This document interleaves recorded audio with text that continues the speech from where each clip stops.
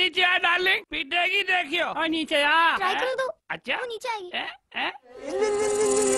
आजा। आ, आ गई चाहिए चाहिए। पहले डांस करके तो दिखा। ओए डार्लिंग डार्लिंग डार्लिंग लटक के चलना डार्लिंग तेरा दुल्हन सा शर्मा दे। हाँ आ,